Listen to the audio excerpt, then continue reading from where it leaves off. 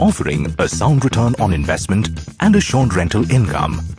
One of the most important factors spurring real estate growth is the ballooning of manufacturing hubs, IT parks and SEZs across the city.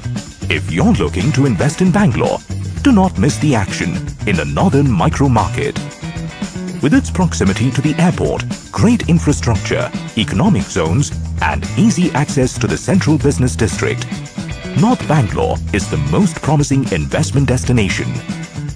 Hebbal is one of those localities which have been rapidly growing over the past few years due to swift commercial development in close proximity. Apartments on Bellary Road costed 500 rupees per square feet in 2000. Today, prices have shot up to a whopping 10,000 rupees per square feet. So, if you missed investing in Bellary Road in early 2000, do not miss Thanisandra Road now. Thanisandra Main Road is a thriving economic hub. Thanisandra Main Road has reputed schools, colleges and hospitals in the vicinity. Manyata Tech Park near Thanisandra Road is a beehive of over 1 lakh IT ITES professionals. Around 2 million square feet of office space is to be developed between Hebbal, Bellary Road, Thanisandra and Hennur Road.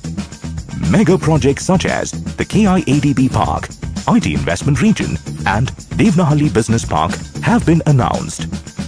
This will drive growth in and around Thanisandra Road.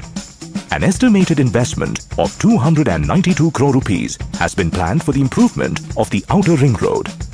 This will connect Thanisandra to the far south, east and west of the city. 72 kilometers Metro Rail Phase 2. A parallel line is planned to the north-south corridor running between Nagwara to Gottigere in the south. On completion, commute time between Thanisandra Road to the southernmost part of the city could come down to a mere 30 to 45 minutes. Bagalur KIADB ITSEZ 5,000 acres.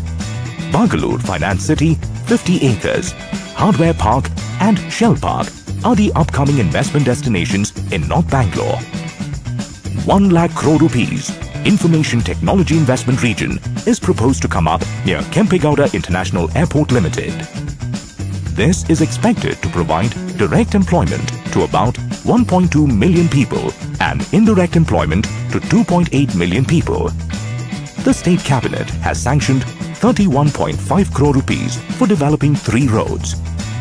Thanisandra Main Road, a link road connecting to the airport through Nagwara Junction and Mailanahalli village. A rising demand for quality office spaces is pushing North Bangalore's real estate market. If you're looking to invest in Bangalore, do not miss the